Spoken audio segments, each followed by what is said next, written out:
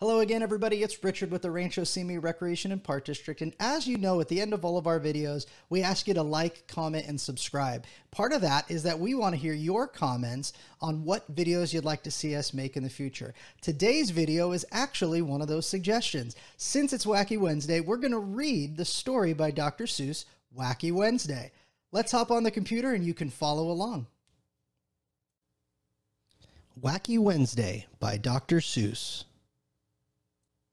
It all began with that shoe on the wall. A shoe on the wall shouldn't be there at all. Then I looked up and I said, Oh man, and that's how Wacky Wednesday began. I looked out the window and I said, Gee, more things were wacky, and I saw three.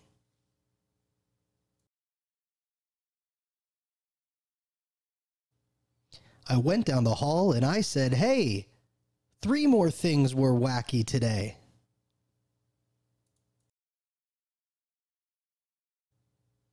I began to dress. Then I said, Wow, four more things were wacky now.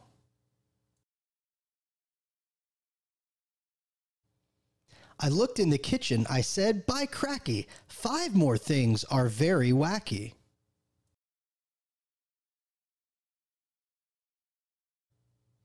I was late for school. I started along and I saw that six more things were wrong.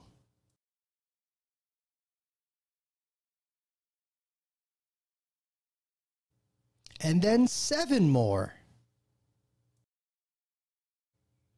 And the Sutherland sisters, they looked wacky too. They said, Nothing is wacky around here but you.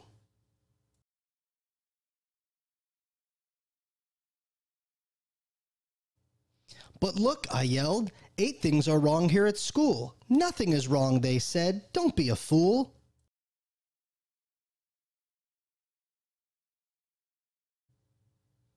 I ran into school. I yelled to Miss Bass, Look, nine things are wacky right here in your class.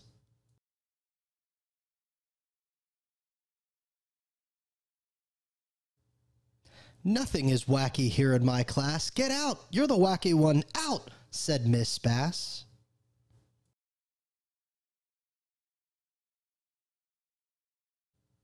I went out the school door. Things were worse than before. I couldn't believe it. Ten wacky things more. Then I counted eleven. Then 12 worse things. I got scared and I ran. I ran and I knocked over Patrolman McGann.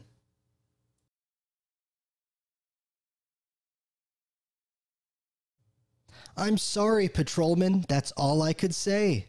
Don't be sorry, he smiled. It's that kind of a day. But be glad, Wacky Wednesday will soon go away.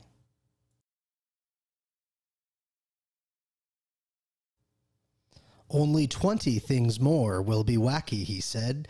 Just find them and then you can go back to bed.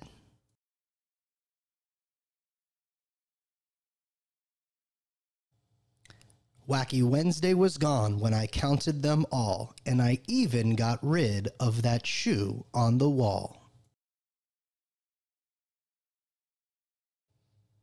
The end. I hope you enjoyed that book. It's definitely one of my favorites. Don't forget to like, comment, and subscribe for information on new videos that are being posted all the time and to post the ideas that you'd like to see us create for you in the future. On behalf of the entire Rancho Simi Recreation and Park District, thanks again for watching.